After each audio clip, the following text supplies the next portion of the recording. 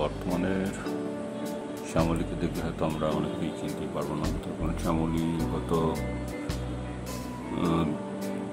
দশ বছর আগে যে অবস্থায় ছিল মানে সেটা একটা পরিবর্তন হয়েছে যে হল শ্যামলী শ্যামলী হলটি যে অবস্থায় ছিল, যে একটা পুরাতন হল। তো বাংলাদেশের চলচ্চিত্র জগতের যে অবস্থা, তাতে সিনেমা হলগুলি প্রায় নাইনটি পার্সেন্ট বন্ধ হয়ে যায়। তো শ্যামলীও নতুন করে তারা ভেঙে বেশিরভাগ অংশই একটা শপিং মল শ্যামলী স্কোয়ার নামে করেছে। আর বাকিটাকে তারা রেখেছে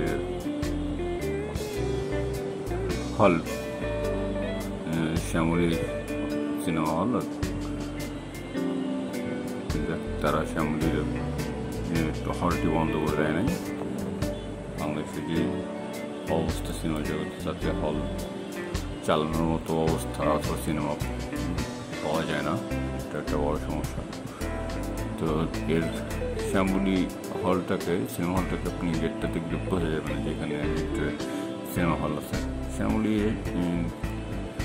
আসলে আমাদের জন্য অনেক গুরুত্বপূর্ণ, কারণ আমরা যারা মোহাম্মদপুরের আদাপুর সেক্রেটেক অথবা এই সাইডটা থাকি তাদেরকে বের হতে গেলে এই রাস্তা দিয়ে বের হতে হয় এবং যারা সাভার থেকে গাবতলী, নিউ মার্কেট অথবা মিরপুর রোডের দিকে যেতে চাই, তাদেরকে অবশ্যই এই রাস্তা দিয়ে যেতে হবে।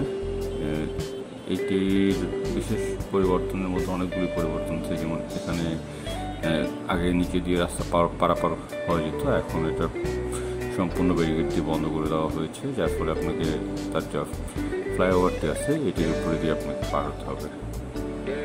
তো সময়ের সাথে সাথে শ্যামলির অনেকগুলি চেঞ্জ হয়েছে। সে শ্যামলিতে আরও কিছু যেমন ইন্ডিয়ান ভিসা ভিসা প্রসেসিং যে অফিসটা সেটা একটা আছে।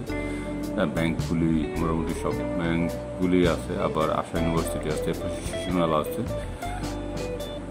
আর আগেরকার দিকটাতে তো ব্যাপক পরিবর্তন চলে এসেছে।